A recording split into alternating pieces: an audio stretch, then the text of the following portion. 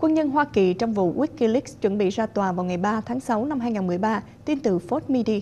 Người quân nhân Hoa Kỳ bị cáo buộc tội công bố tin tức bí mật, một điều tệ hại nhất trong lịch sử Hoa Kỳ, một hành động mà theo công tố viên đã đem lại sự đe dọa tính mạng của con người sẽ bắt đầu phiên tòa vào ngày 3 tháng 6 năm 2013. Phiên tòa trong ngày 3 tháng 6 sẽ tạo ra nhiều câu hỏi về sự giới hạn của bí mật và rộng rãi trong thời đại của mạng lưới toàn cầu.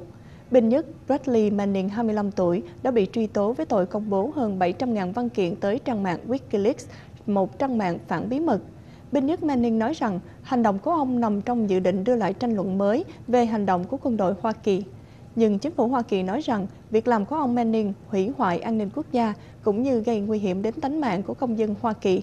Ông Manning có thể phải đối mặt với bản án tù chung thân nếu bị kết tội. Phiên tòa quân sự tại Fort Meade, Maryland, một căn cứ cách Hoa Thịnh Đốn khoảng 30 dặm về hướng Đông Bắc, dự kiến sẽ kéo dài tới cuối tháng 8 năm 2013.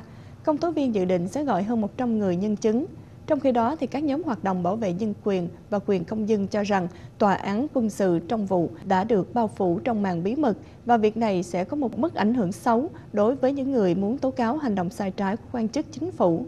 Binh nhất Manning phải đối mặt với 21 tội trạng, trong đó có hai tội rất nặng là tội giúp đỡ kẻ thù và tội làm gián điệp. Binh nhất Manning, một phân tích gia tình báo, bị bắt vào tháng 5 năm 2010 trong lúc ông đang xuất quân tại Iraq. Ông đã bị cáo buộc tội tải xuống các văn kiện tình báo bí mật cũng như video chiến đấu để rồi sau đó gửi tới trang mạng Wikileaks.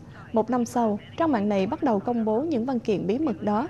Trong số video được công bố, có một video cho thấy cuộc tấn công bằng trực thăng Apache vào năm 2007 đã làm hơn chục người bị giết hại tại thủ đô Baghdad.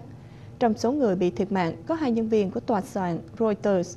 Vào tháng 2 năm 2013, nhà chức trách Hoa Kỳ đã từ chối không chấp nhận việc đề nghị kết án của phía bên biện hộ khi ông Manning cho biết là ông chịu nhận tội 10 tội nhẹ nhất trong số 21 tội trạng mà nhà chức trách đã lên cáo trạng đối với ông. Trong khi ông Manning chuẩn bị ra tòa, người sáng lập trang mạng Wikileaks, ông Julian Assange, hiện đang trú ẩn trong tòa đại sứ của Ecuador tại thành phố London từ tháng 6 năm 2012 để tránh bị trục xuất tới quốc gia Thụy Điển khi phải đối mặt với nhà chức trách ở đó vì tội xâm phạm tình dục.